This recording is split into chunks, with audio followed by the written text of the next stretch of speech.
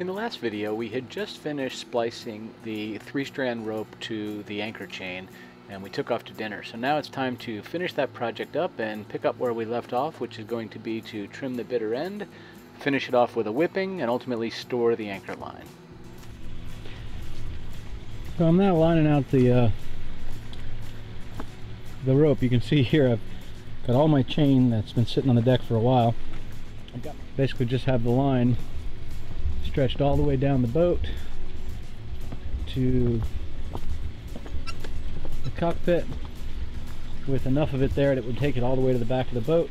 I got 51 feet on deck, so I'm, then I'm going to have just over 150 feet of this, which is what I've marked out right to here, the blue mark. So now time to go ahead and cut this.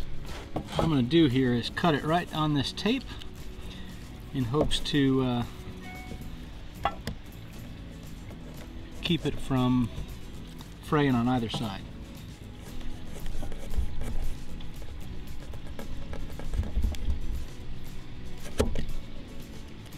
This is a good sharp knife. It's pretty important doing this.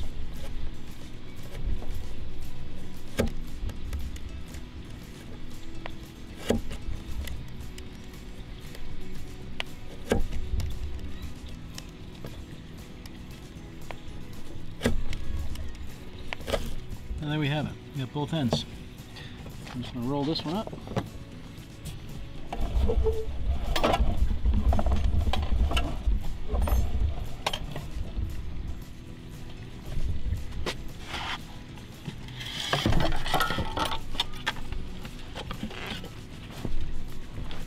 Okay, we're going to go ahead and uh, whip the end of this line. We're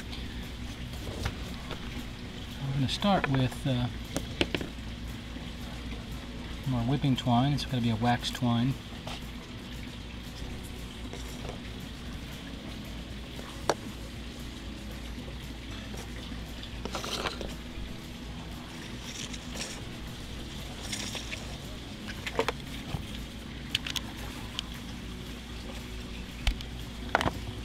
So I just went ahead and cut off a length of this. It's important you get enough so that when I finish my whipping, my number of turns around this should be the same thickness as that.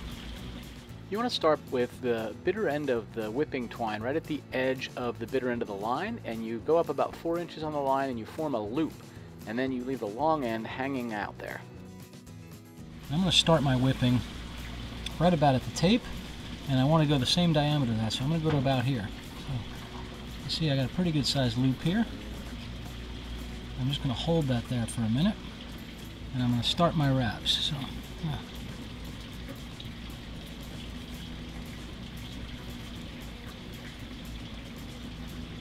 Not the easiest thing, so you want to you want to really get this started. I'm going to on a couple of tight loops around. Then what I'm going to do now is I'm just going to kind of keep running upward toward the loop end of this. I want to do it tight because I want it to be a good strong fit. And because it's three strand line, it's not quite as easy to get started as uh, like a double braid would be. I know a lot of people like to have an alternating color for the whipping, which I can agree with. It makes it very easy to see what you've done. But this is actually going to be tied in the anchor locker, so I'm not too worried about the look. I'm more worried about the functionality and honestly to practice.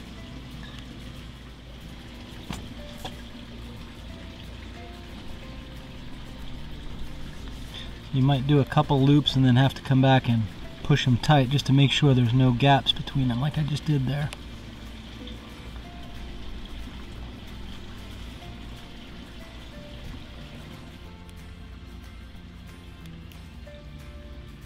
So I'm just about to the thickness of the line. I'm going to go a couple of more wraps here. You want to apply pressure to this whole thing. The idea is you're wanting it to be good and good and tight. Really keep it from fraying once we cut this. What we're going to do is coming up on our loop here. What we want to do is take our line and pass it up through this loop. You want to pull the bitter end through here. Okay? I should have left this a little longer to be able to pull it, but I'm just going to use my needle nose here to give this a tug. What we want to do is basically cinch this knot down by pulling this here. You'll see See how it cinched it down right there? And now we want to continue to pull it until the that cinch is halfway down through the through the whipping.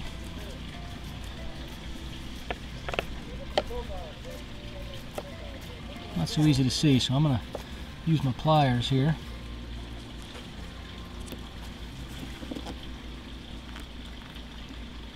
And I can see where it is in there. So, we now have a very strong whipping here.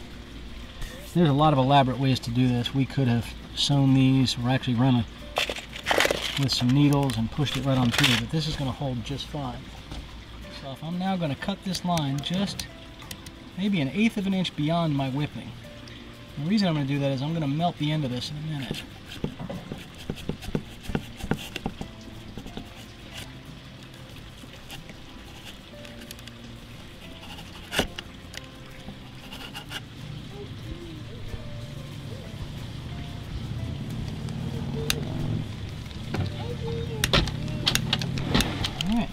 Cut this. And then we're going to cut this. Yeah, I'll show you in a minute.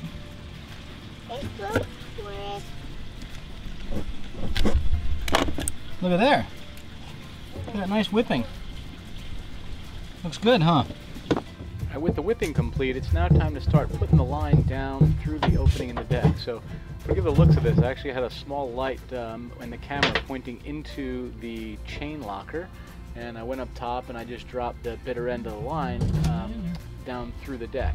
So it's as simple as connecting it to the stronghold in here and reloading all the chains.